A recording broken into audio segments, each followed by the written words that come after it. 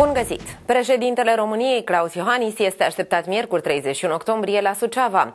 Șeful statului va depune o coroană de flori la monumentul închinat lui Iancu Flondor.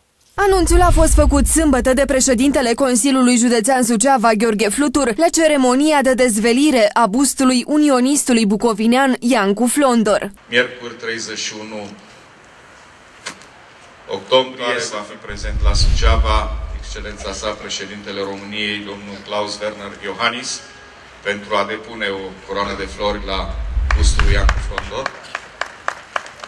Și sigur că ne onorează acest lucru și ne onorează și faptul că noi contăm Bucovina, această parte de țară, și în evenimentele centenarului Marii Uniri vă invităm și pe dumneavoastră, dragi suceveni, să participați la toate aceste evenimente.